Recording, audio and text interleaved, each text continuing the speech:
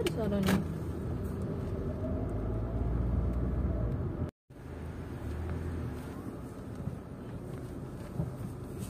Warga besar Baparja nanti mengucapkan selamat hari raya Idul Fitri. Mohon maaf lahir dan batin.